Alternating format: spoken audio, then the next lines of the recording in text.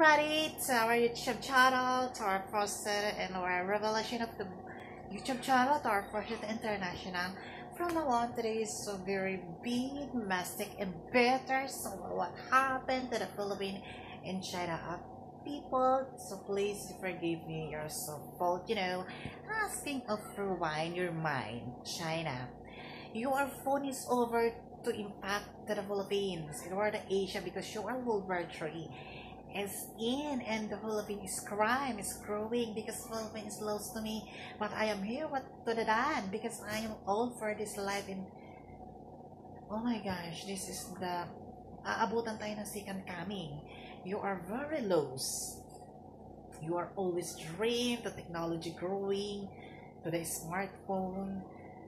Oh my gosh you're so criminal people this is the phone. Is very cheap prices over the cameras over the style over the slim.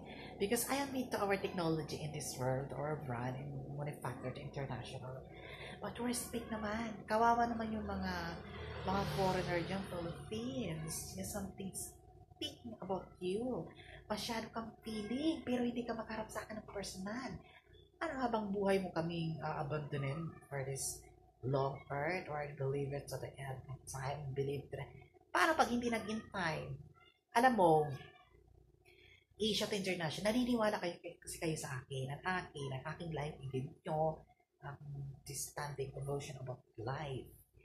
Kasi kung ako magsasalita, nagsusumusunod ka pa magsasalita. Pag ako nag-in, natatakot kayo, I want to agree because you are mental.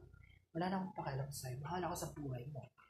Philippines to China because or believe, I think you are saved for this disaster. Yan ang, yan, yan ang kapalit ng mga ano mo sa akin. Panlulukot. Panglalabang mo sa akin. Kita tayo ng Christ ngayon. Araw-araw pa yan. Nagbaba nga yan sa. Yung mga glass.